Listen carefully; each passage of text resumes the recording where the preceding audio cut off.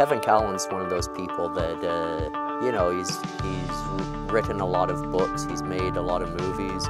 He's a big name in the paddling community. And when thinking of people that I wanted to interview, uh, he had to be on the list. Um, you know, someone who has put out that much has to be a part of this.